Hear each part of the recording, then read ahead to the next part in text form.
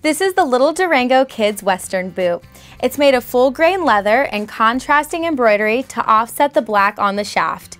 It has a one inch cowboy heel, a square toe, and a rubber outsole, which gives your child traction on smooth surfaces. Inside is a soft mesh lining and a cushion flex insole for comfort and a steel shank for support. This style also comes in youth and infant sizes.